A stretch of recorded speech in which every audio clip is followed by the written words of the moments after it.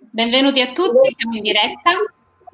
E anche in questo sabato insieme, siamo qui con tanti amici, oggi passeremo una bella ora insieme a parlare di un argomento bellissimo che è quello del servizio ai poveri, approfittando di questa eh, giornata mondiale dei poveri che cade il 15 novembre e giornata che è stata istituita da Papa Francesco quattro anni fa proprio per centrare un po' di più la, la nostra attenzione sul tema dei poveri.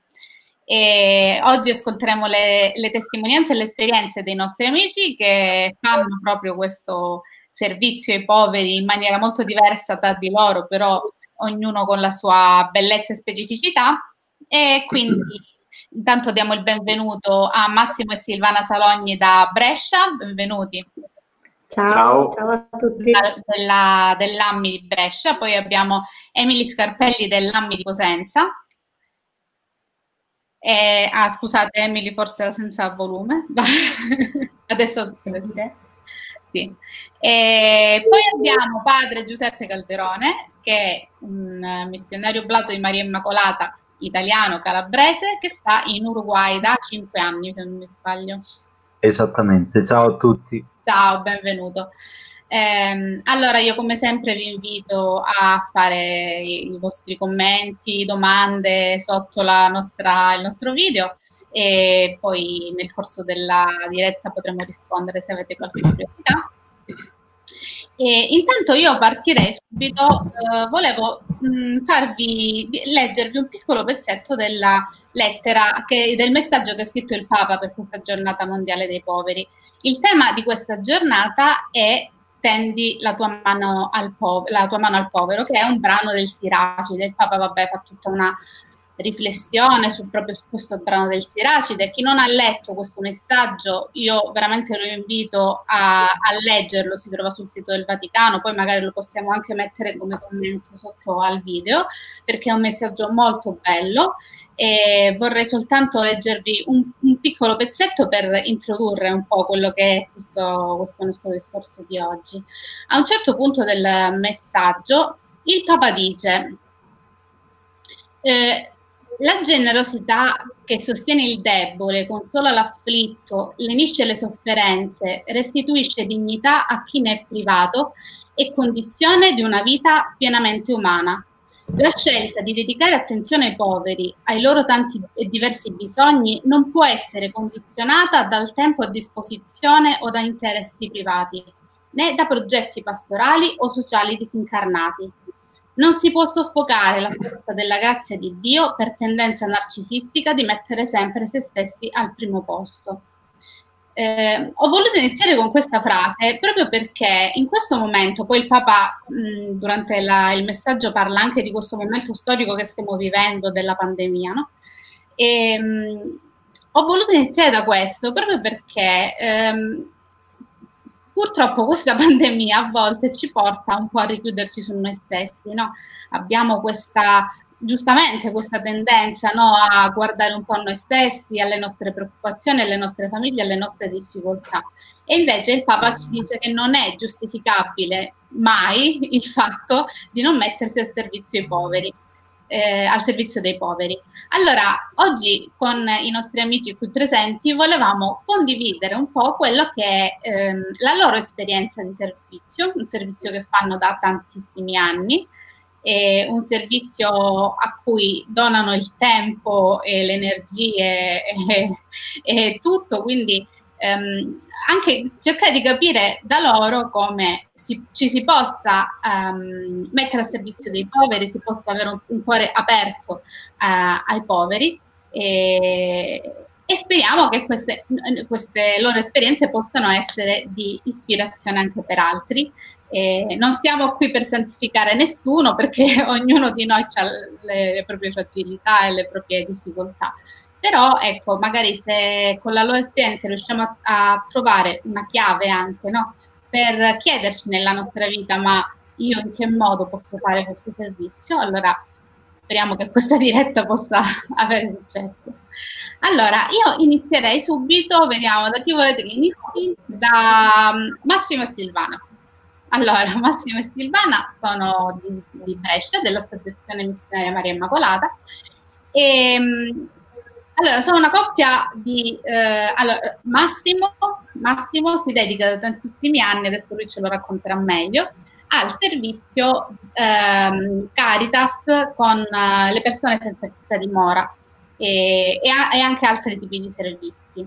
E Silvana non lo può fare per ragioni di, eh, di, lavoro e di tempo, però comunque lo supporta in questa cosa. Allora, intanto mi piacerebbe sentire da Massimo quello che è concretamente il, il servizio che svolge e poi chiederò anche una cosa a Silvana. Grazie, eh, saluto a tutti. Eh, allora, il mio impegno ne, ne, nella Caritas è suddiviso in due, in due cose generalmente. Eh, il primo impegno è quello, come dicevi tu, al dormitorio Caritas. Eh, è un servizio che si fa da circa 10-12 anni e praticamente in una struttura eh, che era l'ex seminario eh, si è deciso alla luce di, di, di, purtroppo una persona che era morta durante un inverno per il freddo eh, di aprire questo seminario e praticamente fare in modo che le persone senza fissa dimora, le persone che dormivano in strada, in stazione, potessero almeno durante il periodo del freddo, d'inverno, accedere a una struttura in cui potevano fare una cena, una doccia e eh, dormire praticamente al caldo.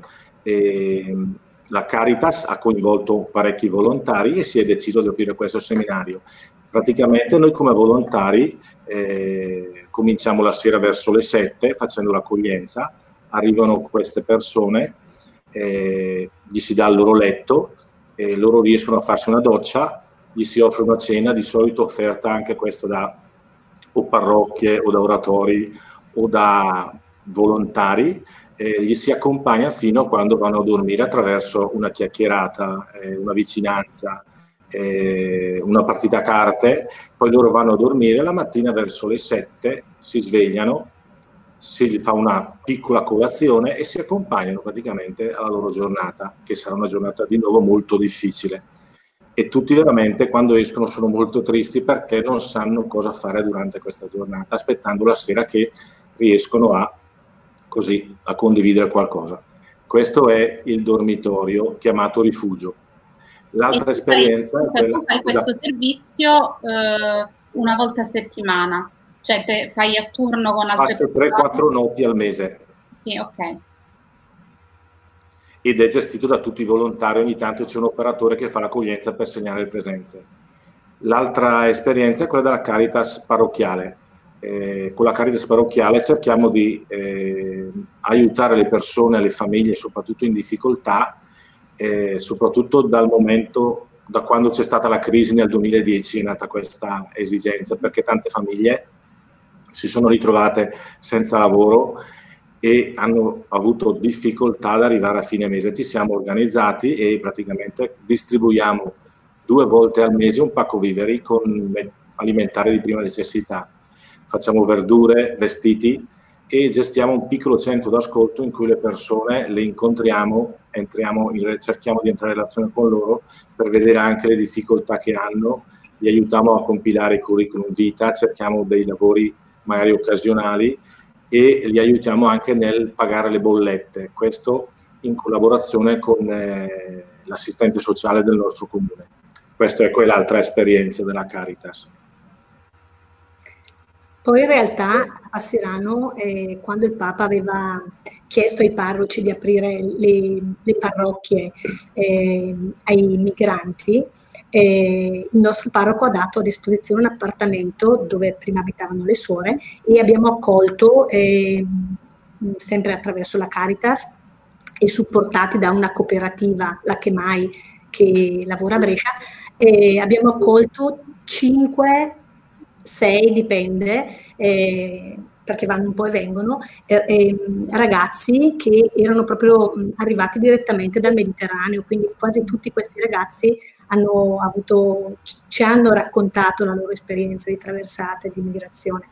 Ehm, poi vabbè, mh, con tutte le nuove leggi eh, queste cooperative sono state messe un po' alle strette, comunque noi continuiamo ad avere questi ragazzi.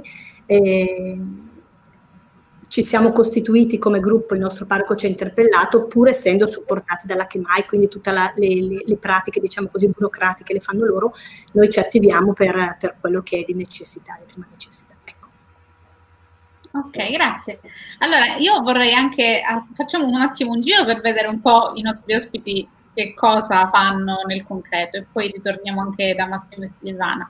Emily, allora Emily è una eh, volontaria per un'associazione che si occupa di fare volontariato in carcere, nello specifico nel carcere di Cosenza. Um, Emily, da quanto tempo fai questo e in che cosa consiste il tuo lavoro, il tuo servizio? Allora, la mia esperienza nasce nel 2015 e in realtà le attività che svolgiamo sono prestabilite attraverso un programma che viene approvato dall'amministrazione penitenziaria e ovviamente questo programma può subire delle variazioni. Concretamente ehm, le attività che svolgiamo sono, ehm, vengono definite attività eh, rieducative e culturali in genere, quindi parliamo di eh, laboratori di diverso tipo, quindi può essere un cineforum, può essere uh, un uh, laboratorio teatrale, può essere un laboratorio di scrittura creativa, uh, può essere anche, ci sono anche la fase dei colloqui personali o io ho avuto anche la fortuna eh, di poter accompagnare a tu per tu un ragazzo nel suo percorso scolastico. Quindi eh, tutte queste attività comunque ci consentono di eh, mettere quei primi semini eh, all'interno di una persona perché eh, ci permette di iniziare a costruire delle relazioni che poi possono essere anche di lunga durata. Ecco. Ehm, mm, Emily, dunque, sì, abbiamo sentito... Emily, scusa, alza un po' la voce perché si sente un po' bassa la tua voce, però si, si è sentito, però alza un po' la voce per favore o avvicina il microfono. Sì. Ok, mi sentite adesso? Eh, sì, un po' meglio. Meglio? Sì. Mi sentite meglio? Ok. Sì. Allora, dicevo, le attività sì. vengono, vengono, tutte ehm, organizzate attraverso un programma che ehm, viene approvato dall'amministrazione penitenziaria. Il programma viene diciamo, effettuato a ogni inizio anno, diciamo da settembre in poi. Uh, queste attività sono attività eh, rieducative e culturali in genere, quindi questo vuol dire che sono laboratori, laboratori eh, teatrali, eh, cineforum, ehm, eh, laboratori di scrittura creativa, progetti sulla genitorialità, eh, tutto ciò che comunque consente eh, di mettere mh, quei tasselli e seguire il percorso unico generale dell'istituto penitenziario che è quello della, della rieducazione della pena. Poi vi è tutta un'altra fase che sono appunto la fase dei colloqui, quindi sono attività eh, diverse rispetto a quelle rieducative, ma sono di assistenza morale. Eh, e io dicevo che ho avuto anche la fortuna di poter assistere personalmente un detenuto nel suo percorso scolastico. Quindi questo vuol dire che eh, sei da sola, tu per tu con una persona e inizi a fare un percorso questo percorso ci consente di eh, iniziare a mettere dei primi semini, dei primi tasselli di un percorso che può essere molto più lungo. Poi durante l'anno ci sono sempre delle richieste nuove che possono pervenire dall'amministrazione penitenziaria in base ai bisogni di ciascuno. Se c'è qualche eh, detenuto che ha qualche esigenza in particolare, i volontari eh, cercano appunto di eh, risolvere queste esigenze. Quindi è tutto molto variabile all'interno dell'istituto penitenziario. Si inizia con un programma ben definito, armati in tanta buona volontà, ma in realtà questo programma viene anche stravolto durante il corso dell'anno. Eh, grazie, Emily è anche una praticante avvocato eh, per lavoro, però appunto ha scelto anche questo, di fare questa, eh, questa esperienza di volontariato in carcere e poi dopo ci spiegherà anche il perché. E, invece padre Giuseppe, che sta in, in Uruguay, è missionario in Uruguay, eh, mi faceva sorridere pensare che lui comunque tutte queste esperienze già le ha, le, le ha, fatte anche in precedenza, oltre alla sua esperienza missionaria in Uruguay, perché è stato sia ehm, qui in carcere a Rebibbia per due anni, e non come detenuto, come volontario, è stato a fare servizio eh, con le mense Caritas ai dormitori quando era ancora in Italia. E invece adesso la tua esperienza con i poveri, come mm, si svolge in Uruguay? Perché noi sappiamo che l'Uruguay è un paese ehm, diciamo estremamente povero se lo confrontiamo con, diciamo, con l'Italia, con, con, i nostri paesi europei, insomma. E, però ci sono anche altri tipi di povertà. Allora tu con quali tipi di povertà hai a che fare nella tua vita quotidiana? Allora, eh, io concretamente mi occupo, eh, io sto in una, una comunità oblata che sta nella parrocchia di Libertà, eh, che fa parte della comunità, eh, di, una, di un'unica comunità insieme a, agli oblati di Plaza Pasquale, siamo cinque in totale. E qui nella, nella, parrocchia di Libertà mi occupo soprattutto dei giovani, la pastorale giovanile, gli adolescenti, eh, la catechesi. Eh, poi tra l'altro eh, insegno nel, nella, scuola, nella scuola cattolica qui del, della, della città e sono anche cappellano in un altro, un altro liceo. E, le, le, povertà, le, povertà che, che, si incontrano sono di vario tipo, la povertà materiale, ti ritrovi qua a Libertà rispetto ad altre, altre realtà dell'Uruguay è una cittadina eh, che sta eh, abbastanza bene a livello, a livello economico, c'è gente che sta eh, abbastanza bene, però ti ritrovi come sempre eh, le, gli eccessi, no? dove, c'è, dove, c'è, tanta ricchezza molto spesso si trova anche tanta, tanta povertà, c'è un quartiere intero che, che ha bisogno praticamente di tutto, eh, dal, dal cibo, ai vestiti, c'è gente che praticamente tutti i giorni viene, viene a chiedere cibo qui, qui, in parrocchia, con un orario fisso, puntualissimi, ogni giorno. E questo anche eh, per, ce, ce, lo permette anche un po' la, la, centralità della comunità, della parrocchia. E questo credo che è anche una, una cosa che io la trovo molto positiva, cioè, cioè siamo praticamente immersi nella, nella città ci ritroviamo a vivere appieno insieme alla gente, ogni giorno appena usciamo incontriamo gente, visitiamo, visitiamo le persone. E nel, nel periodo di eh, maggio-giugno eh, abbiamo, fatto, abbiamo fatto diverse visite anche a causa di una, un'emergenza che c'è stata in quel periodo. Eh, sono stati diversi suicidi e questa è una, una delle, delle, emergenze più grandi, soprattutto tra i giovani. C'è un alto tasso di, di suicidi giovanili, adolescenziali. E, e quindi questo ci ha, ci ha spinti a, a intervenire. Una, una, delle cose che abbiamo deciso di fare, che forse è anche un po' una una nostra mancanza, è dedicare e due giorni eh, alla settimana, due ore eh, ciascuno, eh, convocati ai colloqui, alle confessioni. E abbiamo visto che in questi giorni la gente di questi, di questi colloqui, di queste confessioni, veramente la gente ne aveva, ne ha bisogno, specialmente in questo periodo in cui si ritrova a dover stare chiuso dentro. La situazione dell'Uruguay rispetto all'Italia sicuramente non è non è così grave, però adesso con la seconda ondata stanno aumentando parecchio i numeri. Ovviamente eh, sono, sono, numeri che rispetto alla popolazione che è di 3 milioni, 3 milioni e mezzo di abitanti, adesso abbiamo 550 casi attivi, eh, in totale se non sbaglio di 65 morti, no? rispetto, rispetto, rispetto all'Italia è quasi un numero, un numero bassissimo, però, eh, però c'è, tanta, c'è, tanta, paura, c'è tanta, eh, come dire, eh, la gente non, non, non sa come, come rispondere a questa, a questa emergenza, no? questa, paura del, del contagio. Però si è, si è visto anche tanta solidarietà, qui ovviamente anche noi ci siamo, ci siamo uniti.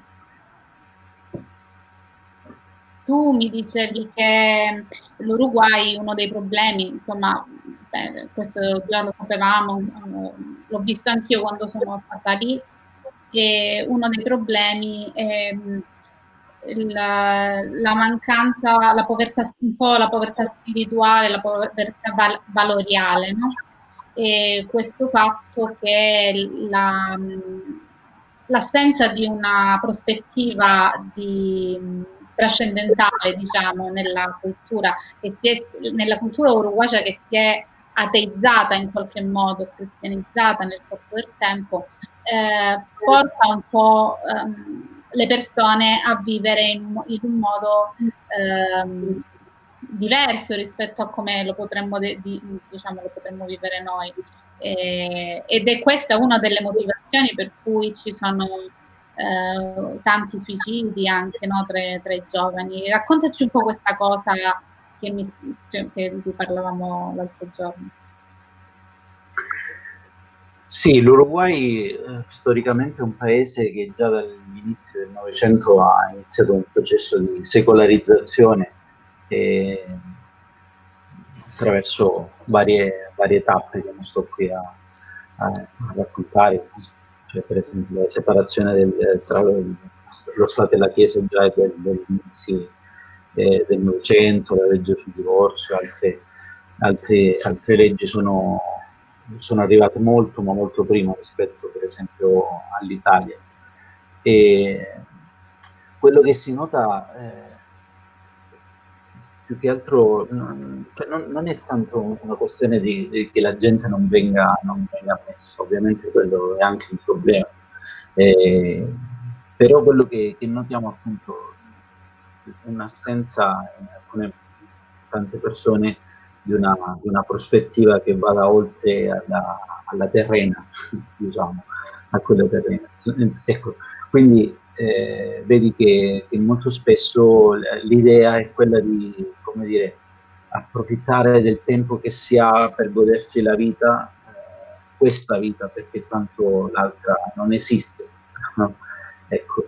E quindi questo a me sempre ha colpito un, una strofa di una, di una canzone, che senso ha, che senso ha pensare, pensare all'aldilà se una tomba e una croce fa finire tutto, fa smettere, fa finire tutta la vita, no? E, è una, una, una, canzone popolare, ecco. per esempio questo riassume un po' eh, l'idea, no? E ovviamente questo cioè, non bisogna mai generalizzare perché non, non tutto l'Uruguay tutte le persone sono così, anzi quello che si nota è che quelli che chi crede, crede veramente al di là della, là della religione eh, lo fa con tanta fede. Io veramente sono, sono, rimango spesso ammirato dal, dalle, da, da, tante persone che hanno, che hanno fatto una scelta di fede veramente radicale e la dimostrano con gesti concreti, visitando gli anziani, portando la comunione agli ammalati. Eh, ci sono tanti gesti concreti di solidarietà. A Libertà, per esempio, ecco, un'altra una, una delle grandi emergenze è quella dei, degli anziani. Adesso gli anziani non possono ricevere, non possono ricevere nessuna visita. Qui nella, nella città abbiamo dieci eh, ospizi, potremmo chiamarli, eh, o case eh, che si chiamano Italia, e, e dove, dove, gli anziani sono accolti molto spesso, purtroppo bisogna dirlo, eh, parcheggiati lì dalle famiglie e a volte abbandonati. Si arriva anche all'estremo che la gente, che alcuni anziani, e, hanno perso la capacità, stanno perdendo la capacità di parlare perché nessuno li visita è una, un'esperienza che abbiamo sperimentato in alcuni ospizi. E sono, sono talmente sole le persone che non hanno nessuno che, che le visita. Sì, sono un po' le, le nuove povertà che sono emerse in maniera molto forte da, da quando c'è anche il, il, coronavirus qui in Italia. Sì. Eh, lo, lo, vediamo, no? ci sono i nuovi poveri, i nuovi, i nuovi poveri di cui magari fino a pochi mesi fa neanche ti accorgevi, perché non pensavi che fossero dei poveri in realtà però adesso ci, questa, anche questa pandemia ci sta facendo aprire gli occhi e sta mettendo le persone in condizioni di forte solitudine, soprattutto anche qui vediamo il problema degli anziani. Mm. E volevo leggere un commento che ha scritto Marco, Marco Longhi, che dice in Uruguay agosto 1991 in viaggio di nozze. Partecipato a un 15, 15. È un compleanno di 15 anni. Ah, ok. Le persone valgono per quello che sono. Rientrare poi al lavoro in banca dove le persone valgono per quello che hanno e non per quello che sono è stata durissima. Questo lo dice Marco anche perché lavora in banca. Mm.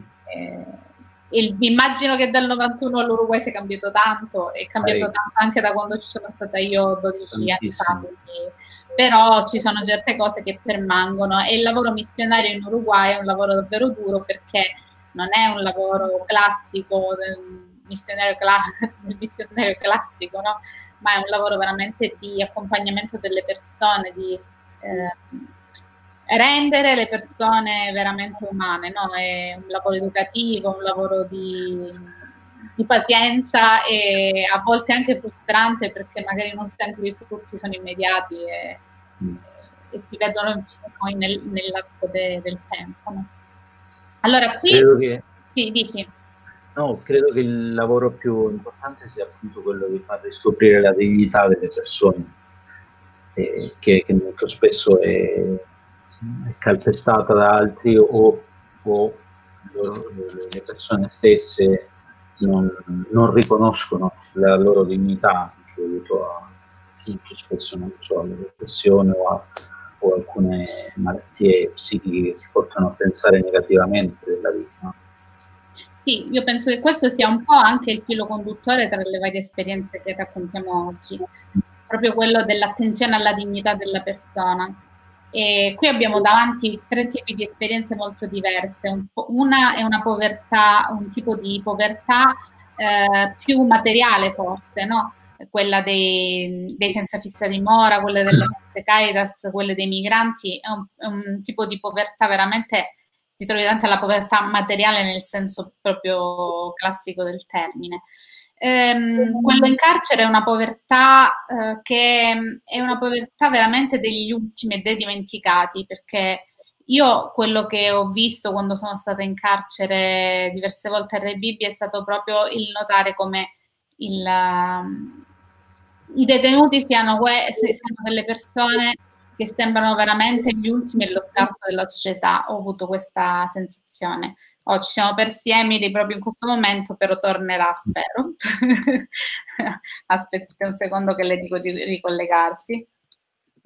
E, e poi c'è, c'è, questa povertà di, diciamo, dell'Uruguay che è una povertà appunto spirituale, valoriale e ta- di tante altre, tante altre dimensioni, no?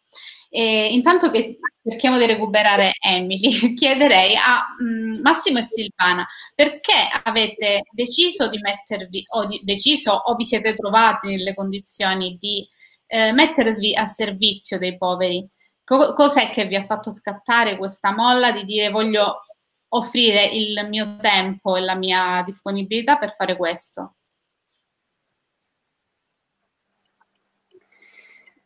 Allora, per quanto mi riguarda, Massimo ha fatto una scelta più radicale, poi ve ne parlerà. Per quanto mi riguarda, io ricordo perfettamente quando il parroco ha detto: Ma cosa facciamo? Il, ci chiedono proprio di dare un aiuto ai migranti, cosa facciamo? È stato chiesto in consiglio pastorale, noi facciamo parte del consiglio pastorale. E sì, e, cioè, mi è partita subito questa cosa qui, cioè, mi sembrava che non potessi essere, non potessi considerarmi una, una cristiana se non avessi accettato una cosa di questo tipo qua. Cioè era impensabile. In effetti, invece, ho realizzato che non tutti la pensavano come me. Cioè nel consiglio pastorale, che è un consiglio pastorale, non ho trovato la stessa, Ci abbiamo faticato a, costru- a costruire un gruppetto di volontari che stesse appresso a questi ragazzi. Ed è stata la cosa che mi ha fatto più male, perché, perché vabbè, poi ognuno giustamente fa le sue scelte, mm, perché poi chiaramente il tempo non tutti hanno a disposizione. Quindi vabbè, comunque ecco, eh, io mi sono proprio sentita interpellata come cristiana, come... Cioè, era impossibile dir di no. Il Papa chiedeva di accogliere, eh, Cristo ci dice di accogliere, eh, come manifestiamo che, che amiamo, cioè se non in questo modo? E quindi è stato questa la motivazione che mi ha spinto. Massimo che è più... Sentiamo cosa dice lui. Ma io credo che, allora io sono sempre stato impegnato nel sociale in varie, in varie attività, però credo che eh, lo spunto più grosso, lo stimolo sia partito quando ci sono state le missioni popolari a Passirano con gli oblati.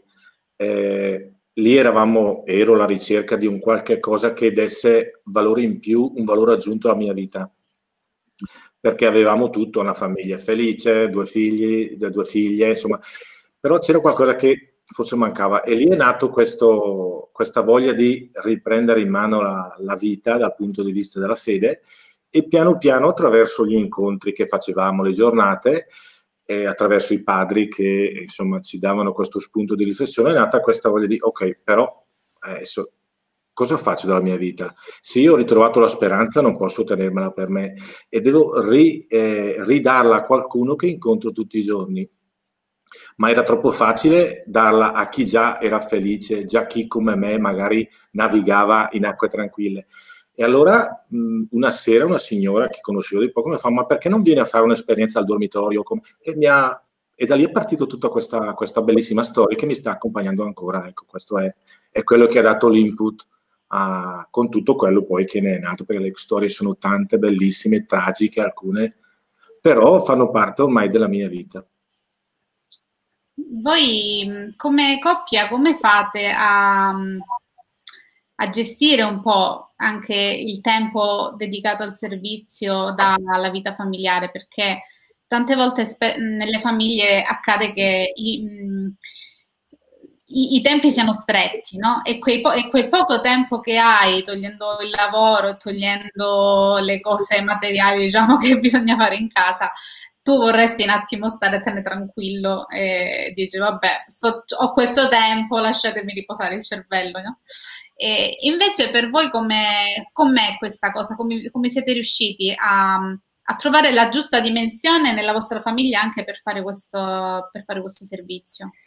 Ma allora, quando ho iniziato è stato abbastanza facile perché lui andava al dormitorio e io restavo a casa con, con all'epoca le figlie erano ancora a casa con noi, eh, sono grandi le nostre figlie. E quindi mh, mm, ce la siamo giostrata così, nel senso che uno, per questo noi uno sopporta l'altro, nel, nel, cioè finché avevamo le, le ragazze comunque eh, è, è, sempre stato così, uno partecipava ad, un, ad, un'iniziativa, non so, uno andava in missione con i padri e l'altro stava a casa con, e, e viceversa. Però era comunque come se eh, tutti e due fossimo coinvolti nella, nella cosa, perché alla fine così. Mm, quindi ci si giostra un po' così. Ora diciamo che abbiamo un po' più tempo libero, le ragazze sono una sposata, l'altra convive, quindi sono, um, facciamo i nonni, quindi siamo impegnati anche da quel punto di vista. Massimo è in pensione da qualche mese, io lavoro ancora, però eh, il fatto di non avere proprio più, cioè, sono i figli che impegnano moltissimo, quindi diciamo che... Sì, sì, no, infatti immaginavo che, cioè la mia domanda era proprio eh, per le famiglie che hanno figli, eh. sono, hanno una vita più impegnativa sì. no, rispetto, però voi... Non è impossibile però, non è impossibile. Dipende, dipende dalle priorità che si danno alla vita, credo perché tante volte vedo gli amici che magari trovano spazio per fare altre cose, per cui io le trovo per altre cose, cioè dipende un po', credo, ecco, da, da, da cosa ci mettiamo come obiettivo nella vita, credo sia questo. Mm. E la cosa che secondo me ci ha fatto crescere insieme è stato anche quello del condividere le esperienze che facevamo, era un arricchimento vicendevole. Si può dire quindi che fare questa cosa ha fatto bene anche alla vostra vita familiare. Assolutamente sì. Sì. Anche eh, alle nostre figlie. Posso portare una piccola esperienza? Mi sembra due anni fa. Eh, a Massimo toccava il turno eh, all'emergenza freddo eh, nella notte di Capodanno e così mh, mm, lui dice ma se non cambio vuoi venire anche tu Silvana stiamo insieme un po' poi chiaramente è un dormitorio maschile quindi e n- non so perché eh, l'abbiamo detto a nostra figlia e, e lei e il suo compagno sono venute, sono venuti, hanno anche animato perché loro suonano, cantano e quindi abbiamo creato una festa, cioè quindi alla fine eh, cioè, eh, tutto ritorna, secondo me, tutto ritorna. Tu dai, ma tu ricevi sempre. Grazie. Allora, eh, intanto continuerei da, con Emily. Emily, sì. um, ci vuoi raccontare per quale motivo hai iniziato a fare il servizio in carcere? Ok, allora eh, in realtà dobbiamo andare a tanti tanti anni fa eh, innanzitutto il mio senso di giustizia è nato veramente da, da, piccola, si può dire. Non so se mi sentite bene. Sì, vai, vai, tranquillo. Sì, sì. ok. E, ehm, con un'esperienza concreta che ho fatto quando avevo 15 anni, eh, ho, ebbi la fortuna di conoscere eh, una, una deportata di Auschwitz eh, che si chiama Elisa Springer e lì il mio senso di giustizia eh, diciamo, si è, ha iniziato a prendere forma perché grazie alla sua testimonianza di vita, eh, per come ha raccontato il suo dolore e per come ha deciso di non odiare eh, come dire, eh, chi l'ha deportata, in realtà eh, questo mi ha, mi ha permesso di comprendere che c'è un mondo ben più ampio dell'odio e della fine, tra virgolette. Poi, dopo qualche anno, parecchi anni si può dire, feci un'esperienza grazie proprio alla congregazione. Eh, andammo a Paola a uh, semplicemente animare una messa e, ehm, perché appunto i detenuti dovevano, uh, dovevano fare la cresima sostanzialmente, quindi c'era chiesto, ci è stato chiesto di cantare. E, ehm, e noi abbiamo cantato come sapevamo fare. Diciamo con le nostre voci, eh, così come eravamo, con gli strumenti che avevamo e nient'altro. E in quel momento ci veniva chiesto di amare quelle persone e l'abbiamo fatto così eh, come sapevamo, ma per un amore più grande si può dire. E da lì eh, questo mondo penitenziario insomma iniziava a prendere forma dentro di me, tant'è vero che comunque non mi bastava questa esperienza e andai alla ricerca e incontrai proprio nel momento giusto, al posto giusto, l'associazione Liberamente ed è stato veramente un grandissimo trampolino di lancio e anche una grandissima grazia dove io lì ho capito uh, la mia vocazione penitenziaria, perché io ho sempre sostenuto che si è volontari penitenziari per vocazione, altrimenti non ce la fai. Eh, mi sono trovata al posto giusto proprio perché in quel momento mi è stato offerto eh, di fare appunto un corso di preparazione, insomma poi la vita mi ha portato alla casa circondariale di Cosenza, ma eh, quello che mi ha spinto eh, a entrare meglio in questo mondo è proprio eh, il, il nostro Santo Eugenio, se si può dire, la sua esperienza in carcere all'inizio è stata proprio molto simile alla mia ed è comunque stato ehm, quello, colui che mi ha ispirato in questo mondo, no? il, il suo modo di vedere ricordiamo che il servizio in carcere è stato proprio uno dei primi servizi fatti da Santo Eugenio quando eh, già forse da prima che divent- diventasse sacerdote, però comunque da, da sacerdote sì, è stato sì. proprio uno delle prime ehm, dei primi, i carcerati sono quelli che lui riconosceva proprio come i primi poveri in quel momento storico che lui stava vivendo, no? E ha avuto questa, eh, questa passione per accompagnare i detenuti fino a prendersi anche una malattia che l'ha portato quasi in fin di vita, eh, proprio per non lasciare sole queste persone. Allora Emily, eh, che ha fatto una, un master di, di, re, di recente, si è, si è, laureato in un master, eh, nella sua tesi ha raccontato proprio questa esperienza di Sant'Eugenio, quindi anche come l'esperienza di Sant'Eugenio ha eh, influito sulla sua, sulla sua, scelta. Raccontaci anche questa, mh, queste motivazioni, diciamo. Allora, ehm, quello che io ho preso in eredità da Sant'Eugenio eh, è stato proprio il, il, suo modus operandi, cioè come eh, ha evangelizzato questi poveri, i suoi poveri. Eh, io mh, sono bellissime le sue parole eh, di quel famosissimo discorso che è passato alla storia, il discorso ai poveri, dove eh, proprio invita, dice ehm, andate al di là dei, degli stracci che indossate, cioè sappiate che dentro di voi c'è un'anima che è stata creata uh, da Dio a sua immagine e somiglianza, che vale il suo sangue ed è, eh, vale molto di più di qualunque altra ricchezza. Cioè io queste parole le vorrei uh, davvero vedere incise sui uh, corridoi penitenziari con la speranza che qualcuno noti queste parole e noti soprattutto un Dio che c'è, che esiste e che è detenuto tra i detenuti. E, ehm, il modus operandi di Eugenio mi ha eh, insegnato innanzitutto a rendermi conto dove mi trovo, perché ogni, ogni, ogni, carcere è un mondo a sé, quindi ovviamente a stare attenta ai bisogni uh, del mio interlocutore, del mio prossimo, quindi concretamente no, dove ci troviamo in un carcere maschile, femminile, uh, di che uh, bisogni stiamo parlando, siamo in presenza con madri con prole o meno. Io ho avuto diciamo, l'occasione di operare soltanto all'interno di carceri maschili adulti, quindi ovviamente la mia mh, esperienza si basa solo uh, su quella tipologia uh, di detenuti. E poi uh, altre piccole accortezze di Eugenio sono state proprio lo stare con quella persona fino alla fine. E il mio fino alla fine è chiaro, una volta il fino alla fine di Eugenio era fino al patibolo, cioè lo ricordiamo tutti, no? il caso della detenuta germana, no? E questo stare fino alla fine è è quello a cui io mi, mi ispiro, no? stare fino al mio percorso che eh, ovviamente mh, mm, non abbiamo una fine come la intendeva Sant'Eugenio, però abbiamo un percorso che inizia e che comunque eh, si concluderà indipendentemente dalla mia presenza o meno all'interno di quel, eh, di quel penitenziario, però stare, ascoltare e accompagnare. Direi che questo è quello che mi, che mi porto, così come l'altro e così come sono io eh, ci dobbiamo ricordare anche che eh, i limiti dell'altro eh, delineano anche i tuoi limiti.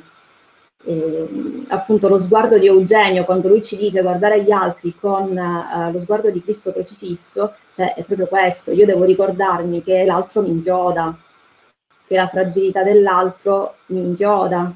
E io per quanto ho il desiderio eh, di eh, aiutare l'amministrazione penitenziaria a ehm, eh, rieducare, se così si può dire, eh, un detenuto, di risocializzarlo, in realtà devo tenere a mente che il, il, il percorso lo fa più lui, io accompagno, eh, ma non cambio le vite delle persone, però eh, con, con, la mia vita, eh, la, vita la, la, vita in sé parla molto più uh, di qualsiasi trattato, no? molto più di qualsiasi uh, tipologia di educazione. No? Uh, quindi io prima dicevo, le attività che facciamo ci permettono di uh, stare in contatto, ci permettono di, uh, diciamo, ehm, eh, ci permettono di creare delle relazioni. Ecco, eh, questo è il primo passo. Poi il cammino uh, lo, lo, scriveranno tutto loro. Non, siamo noi, noi ci mettiamo a disposizione, poi loro e poi la vita che testimoni farà la differenza. E, ehm, molto spesso mi è capitato di parlare con diverse persone che eh, vivono comunque una vita molto generosa anche al servizio dei poveri, però quando tu gli nomini i detenuti hanno, hanno un po' di difficoltà eh, diciamo, a riconoscerli come poveri perché comunque il mm. detenuto è palesemente una persona che ha fatto degli errori, a volte degli errori grossi, parliamo anche di persone che hanno fatto, fatto omicidi, che hanno abusato, che hanno molestato, cioè stiamo parlando di persone che comunque hanno sbagliato tanto a volte, no? E quindi c'è una sorta di difficoltà nel riconoscere queste persone nella loro dignità e nella loro povertà, in realtà. No?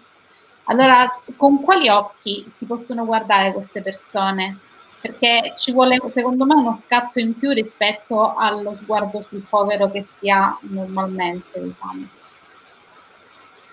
Allora, io mi sento veramente di dirti eh, che appunto gli occhi sono quelli suggeriti dal genio, sono quelli del Cristo crocifisso.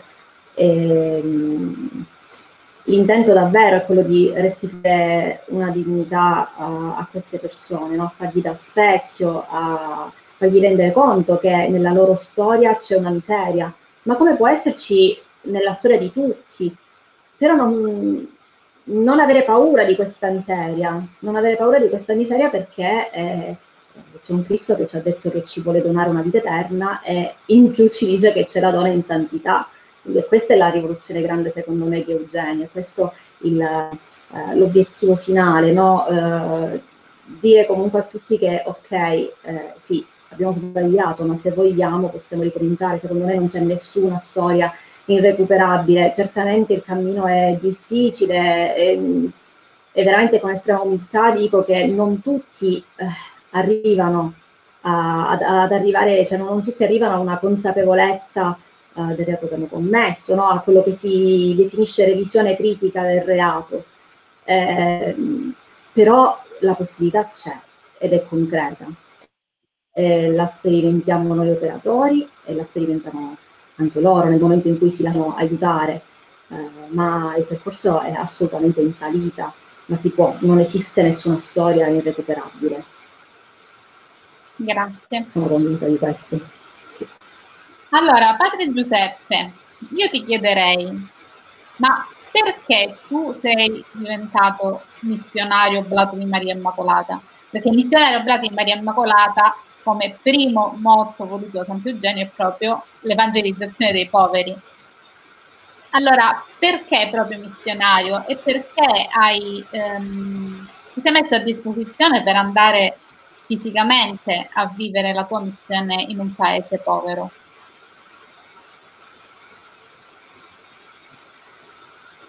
Ah, scusa, un attimo, il microfono. ok, vai la domanda da un milione di dollari. Perché, e, ancora bene non l'ho capito veramente. perché credo che sia un grande mistero come tutte le vocazioni. Non credo che nessuna vocazione possa dire sono sicuro al 100% se ho fatto la scelta giusta o se effettivamente è questo quello che Dio vuole da me. Però quello che un po' conferma è sicuramente la gioia che ti dà, che ti dà una scelta, al di là delle, delle come sempre, le, le, croci che ci sono, ovviamente, no?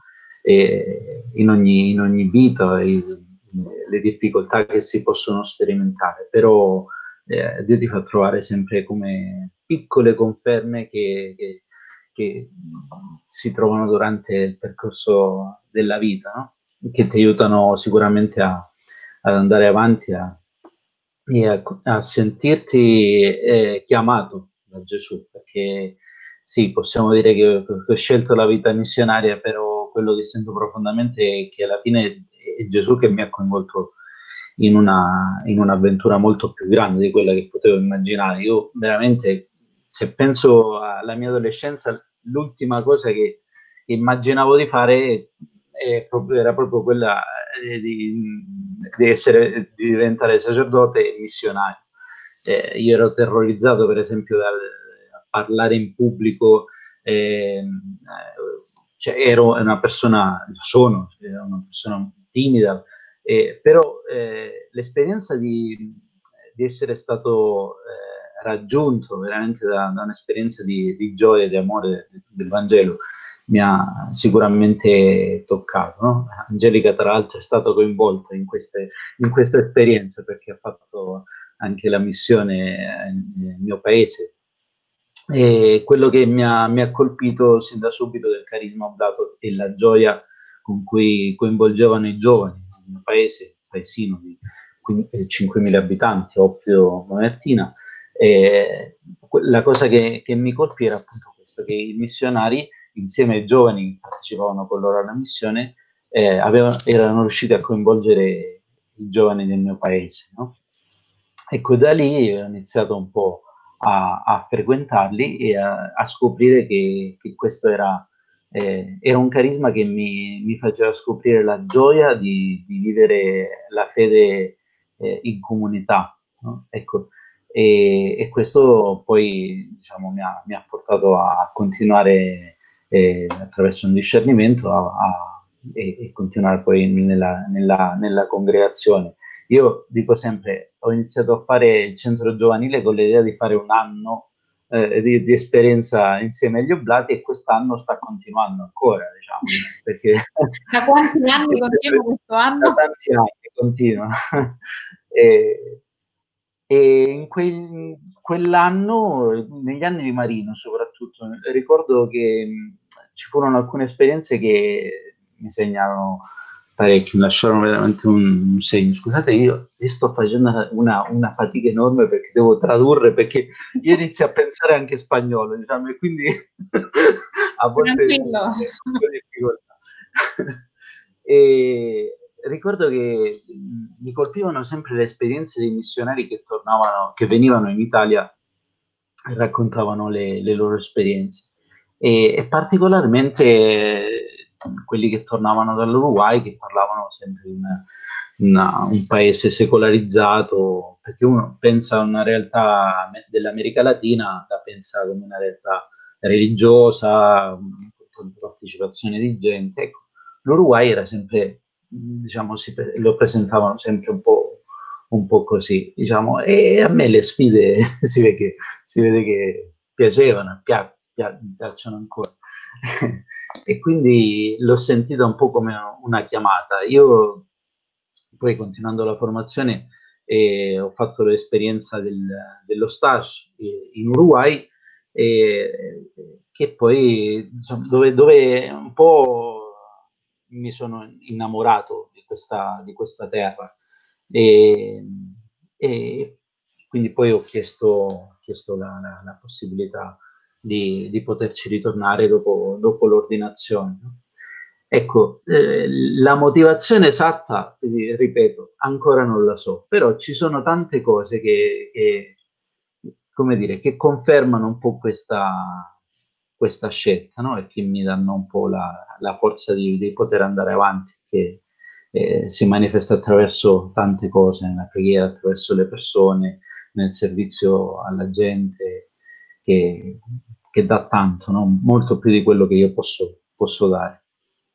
Pensando un po' all'esperienza di Giuseppe, eh, conoscendo bene la, le sue origini, visto che sono anche le mie, eh, mi veniva un po' da pensare eh, che ci stiamo rendendo conto, lo sapevamo già, però adesso questa pandemia ci ha fatto all'improvviso rendere conto che in realtà la Calabria è una terra di povertà.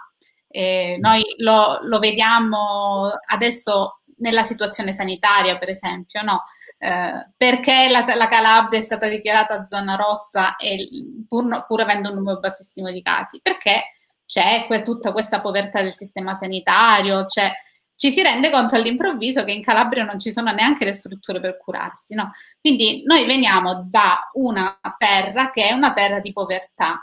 Eh, ci si potrebbe chiedere, ma tu che sei cresciuto in un luogo che è un luogo um, che ha le sue povertà e, e, che ha bisogno di essere evangelizzato in quello che, che è, nonostante la Calabria sia comunque un, una, una, regione fortemente cristiana, perché non, certo non si può dire che, che, è secolarizzata la Calabria, no, però è un luogo che ha bisogno veramente di essere evangelizzato eh, da tutta la dimensione legata a, all'attività della mafia, dell'andrangheta in Calabria, a tante altre situazioni. No? Quindi io ti chiederei, ma perché non diventare sacerdote diocesano e restare lì dove tu sei nato, che, aveva, che è un luogo che ha bisogno anche, no? Guarda, eh, io credo che sperimentare la povertà ti, ti, ti aiuta a essere, ad essere aperto agli altri, a essere generoso, mh, mm, o almeno a provarci. No? Sicuramente guardando la, la realtà della Calabria mh, tanti ancora oggi ovviamente mi dicono ma che fai in Uruguay, torna, eh, c'è tanto bisogno qua. Sicuramente, sicuramente. Non, non, non scelgo, non, non, ho scelto la vita missionaria perché eh, in Italia non c'era bisogno, in Calabria non c'era bisogno. Scelgo perché eh, per vocazione, credo, perché non, non possiamo fare eh, le nostre scelte solamente in base a quello che sono le, le, solamente le necessità, diciamo, di una terra, ma quello che, a cui Dio ti, ti chiama. No? E, quindi eh, sì, è sempre una grande chiamata, un grande appello eh, quello del, del, dell'Italia. Eh, io quando mi dicono ma quanto starai qua in, in, in Uruguay? Ma io eh, non, ho, non, ho, non, ho, un'idea di, di, quanto dovrò stare se starò per sempre o se poi ritornerò. Io adesso sento che, che, che, che il Signore mi sta chiedendo di, di, dare la mia vita qui in Uruguay, no? È per questo che, mi sento chiamato adesso a stare, a stare qui, perché, ripeto, la, la, scoprire la povertà ti aiuta anche ad essere generoso. Quindi, siccome io quello che, che sperimento sempre è una, un, grande amore da parte di Dio eh, nella mia vita, no? quindi questo mi ha, mi ha spinto a, a, dare la vita eh, in un altro posto no? che non era la mia terra. Questo è il mio modo di cercare di rispondere a, questo, a questa generosità di, di Dio. Tu sei mh, originario di una famiglia che ti ha eh, aiutato fin da piccolo comunque in un cammino cristiano, hai fatto parte del movimento dei neocatecumenali. Ehm, quanto è stato importante il sostegno della tua famiglia nel percorso, il tuo percorso vocazionale? Beh, importantissimo. Questo lo dico anche eh, a, chi, a, chi, ci ascolta che magari ha dei figli adolescenti che stanno cercando il proprio posto, no? Allora dico, conoscendo anche tua madre, che è una donna molto combattiva su questo punto di, vista, punto di vista no? Quanto è importante il, il sostegno della famiglia e la responsabilità della famiglia nel cercare il proprio posto per un ragazzo? È importantissimo, sicuramente, eh, perché ti dà, ti dà delle basi, ti, ti aiuta a camminare, ti aiuta anche a, come dire, a fare delle scelte eh, ben fondate. Però dico anche un'altra cosa, tutti siamo liberi di scegliere, tutti siamo liberi di scegliere.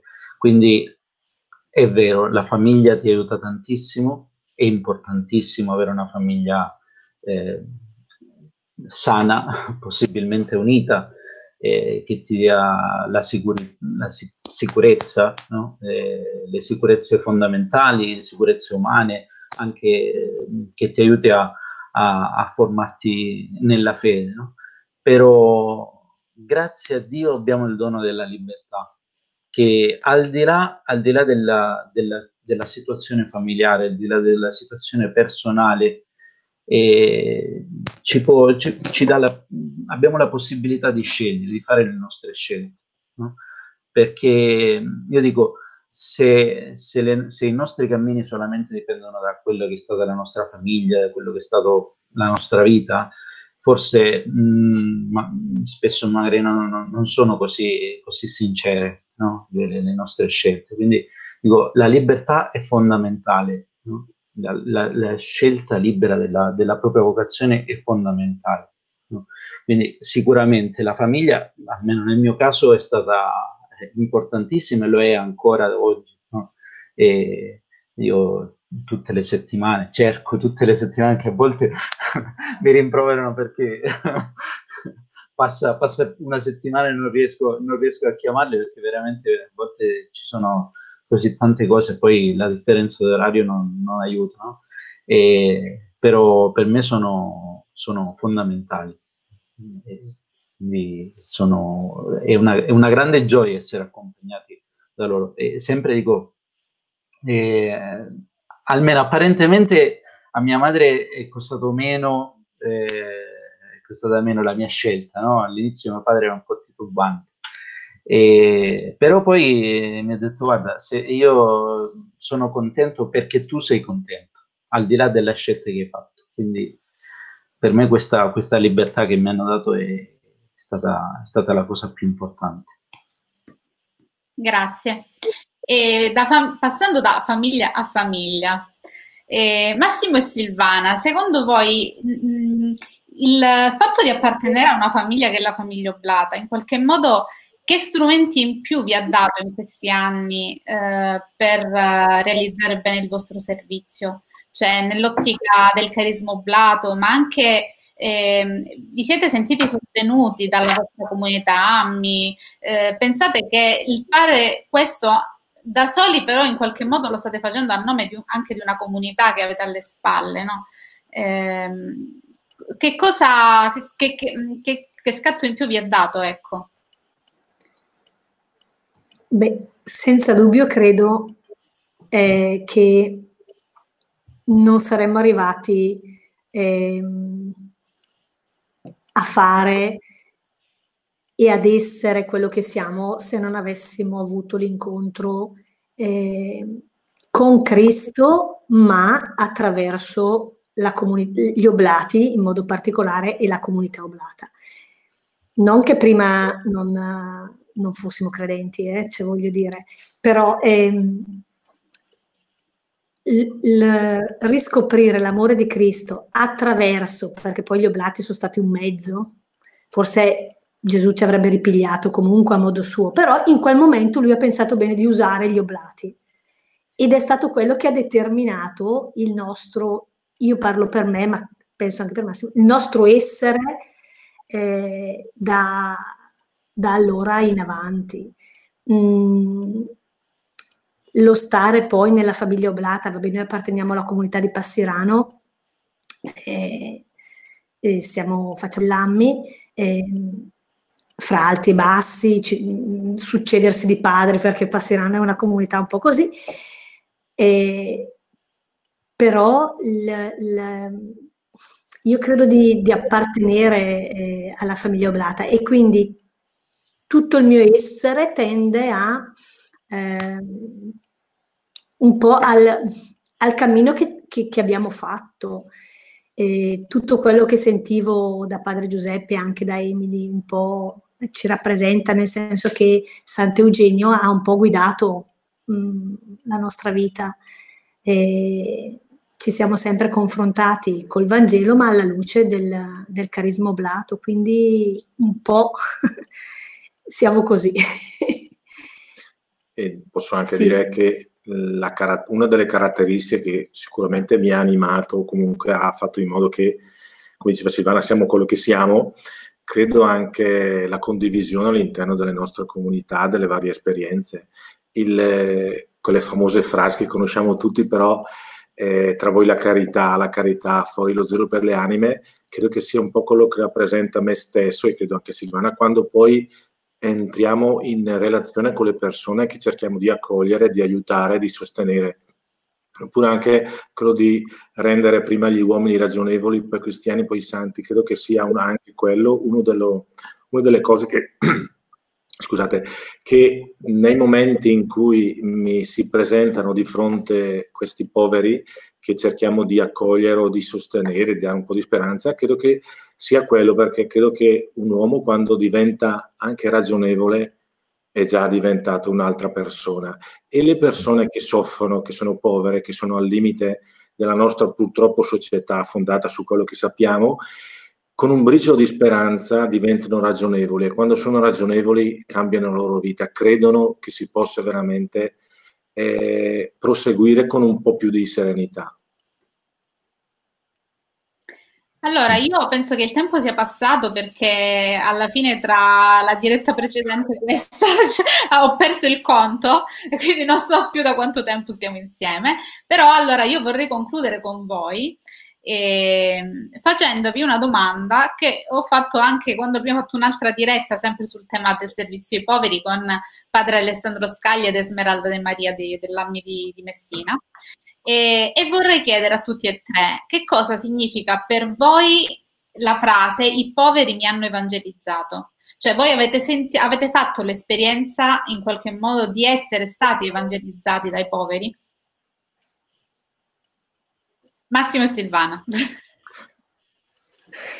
Allora, eh, sì, perché tu ti metti di fronte, di fronte a una persona non eh, dall'alto del... Cioè, ti metti di fronte come, come, una persona di fronte a un'altra persona.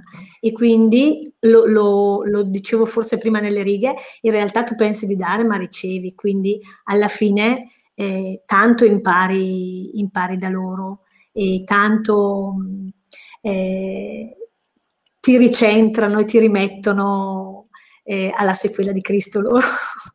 e, ecco, bisogna, mh, mm, credo che se noi si pensa di mh, mm, eh, essere quelli che mm, aiutano, fanno, va bene, certo, poi dietro, chi- chiaro che lo si fa, però è, è l'atteggiamento con cui lo, lo, si va a fare che credo eh, tenga aperto il canale dell'essere rie- rievangelizzati, penso questo.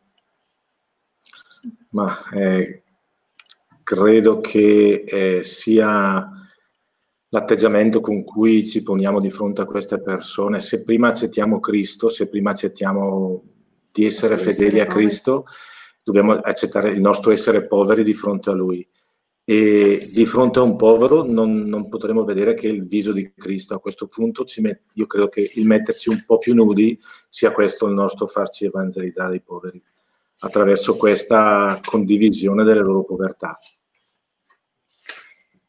Stamattina leggevo, il, scusa, stamattina leggevo il Vangelo della giornata, no? che è la vedova, la vedova che, che chiede con insistenza alla, al giudice e alla fine il giudice dice vabbè l'accontento così almeno me la levo dai piedi. Ehm, il commento che, I commenti che sto leggendo sono di Don Oreste Benzi e vi leggo proprio due righe perché sembra proprio che il, il Signore ti parla nel momento giusto, no? E le vedove a quei tempi erano le, le, le povere in assoluto. E, e Don Benzi dice: A me questo racconto fa capire che sono i poveri i veri rivelatori di Dio se mi sgancio da loro faccio più fatica a pregare, quindi occorre mantenere sempre quell'atteggiamento del povero, di colui che ha la coscienza che fuori di Dio non vale proprio niente. Ecco, anche queste cose che ti arrivano, c'è la parola che ti dice, c'era la diretta, parlavamo dei poveri e c'è proprio questo Vangelo e c'è proprio questo commento. Io credo che eh, tutto contribuisca a, a vivere il Vangelo, ecco. Sì, io a proposito di questo che hai detto, rinvito a leggere il messaggio del Papa per questa giornata mondiale dei poveri perché è molto centrato proprio su queste cose qui. E Emily?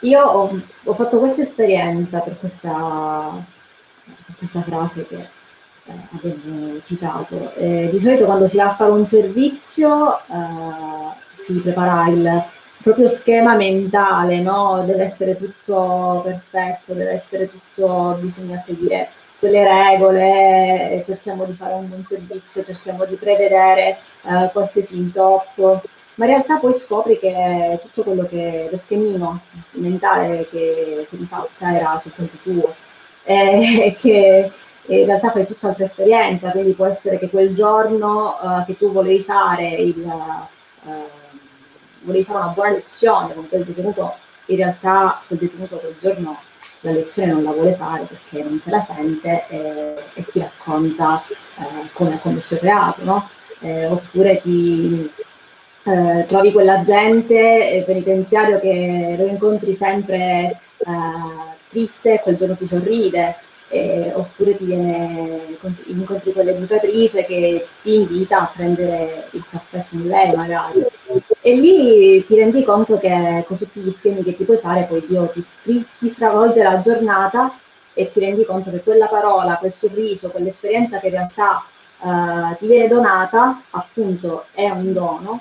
E ho fatto l'esperienza in questi casi che io più vado là con il mio schemino per cercare di essere eh, di plasmare e tornò in realtà a casa convertita, convertita a un miracolo che può accadere. Grazie.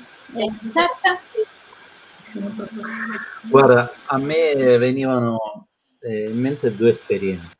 Sicuramente quella del carcere che, come dicevi anche tu, ha, mi ha segnato tantissimo, nonostante siano stati solamente due anni, però ricordo quando, quando andavamo in carcere con Cavi all'epoca, Cavi Montero, padre Cavi, e ritornavamo così contenti, dicevo, ma io dico, ma come io non, non, sento così questa felicità quando esco da, da, dalla cappella eppure la sento quando, quando ritorno a casa da, dal carcere. No? E quello che sentivamo era che eh, questa gente, al di là delle cose che aveva commesso, dei reati che aveva commesso, eh, ci trasmettevano un'umanità che, che eh, fuori non vedevamo. Cioè, per esempio, anche la solidarietà, la solidarietà che, che avevano tra di loro ci, eh, veramente ci colpiva Ecco, per me questo anche è stata una, un'evangelizzazione dei poveri. E poi l'altra, più, più, che un'evangelizzazione, forse è stata un'inculturazione che mi ha aiutato a fare i poveri qua in Uruguay. Quando sono arrivato, ricordo, il primo mate che ho bevuto in Uruguay. ecco, il mate è la bevanda che è tipica qua dell'Uruguay, eh, il Papa l'ha resa famosa anche, no? E, ricordo eravamo andati in una casa poverissima, un quartiere del Serro, e ero, eravamo arrivati da tre giorni. E allora entro e ci, offrono sta bevanda. E mi ricordo che i gatti camminavano sui mobili, cioè, la, la, diciamo, la, la, la casa era abbastanza molto molto umile, no? Allora io ho detto che faccio, lo, lo accetto, non lo accetto. E Ecco, lì ho detto, guarda, eh, lanciati, abbandonati a quello che, che, Dio ti sta proponendo. No? Ecco, per me eh, questa esperienza del primo mate è stata, è stata anche un'evangelizzazione concreta, no? dove, dove grazie a questa persona diciamo, ho imparato anche, eh, ho iniziato no? a buttare giù quei, quei muri che a volte uno si mette con la propria cultura, dice ma io non l'avrei fatto, ma io sono un italiano, essere, bisogna essere pulita, la mia cultura è meglio. No, no, ecco, eh, se veramente vuoi aprirti all'altro, eh, devi andare oltre a quelli che sono eh, gli schemi, gli schemi mentali che ti porti, ti porti dietro, no? perché grazie a Dio, no? il Vangelo va oltre, va, oltre, va oltre, le culture, va oltre gli schemi mm, culturali, mentali che uno ha in mente. Eh? Ecco, e Dio a volte ti aiuta a, a, attraverso queste semplici esperienze. Allora, io davvero vi ringrazio per aver condiviso le vostre vite, le vostre, le vostre esperienze. Immagino che ci, avreste altre mille cose da raccontare, però purtroppo non abbiamo molto tempo. Però ehm, volevo concludere intanto leggendovi il messaggio di Graziella che scrive grazie per queste dirette. Ascoltare le vostre testimonianze ci fa andare alle origini della nostra vocazione e del nostro appartenere alla famiglia Oblata. Tanti anni di cammino insieme fino alla fine. Saluti a tutti e un abbraccio grande a Peppe. Eh, Peppe raccomandato, va bene? Allora, Ciao, Graziella. grazie a tutti, quelli che ci hanno, a tutti quelli che ci hanno seguito. Io spero di riuscire a mettere insieme i due video e farne uno solo, visto che abbiamo dovuto interrompere a metà la diretta. E io vi do appuntamento al 28 novembre eh, che sarà il giorno in cui noi celebriamo i Beati Martiri Oblati di Spagna e faremo una bellissima puntata su questo argomento qui e quindi vi invito a ricollegarvi, poi sicuramente girerà la locandina il 28 proprio a quest'ora, al solito orario diciamo. Un grazie speciale a Giuseppe che si è alzato all'alba stamattina perché, perché ci sono quattro ore di differenza tra l'Italia e l'Uruguay, quindi eh, ha iniziato questa diretta alle 7 del mattino, quindi grazie davvero. E grazie a tutti quelli che ci hanno ascoltato. Alla prossima. Ciao! Grazie a voi, un abbraccio grande. Dio Ciao. Ciao.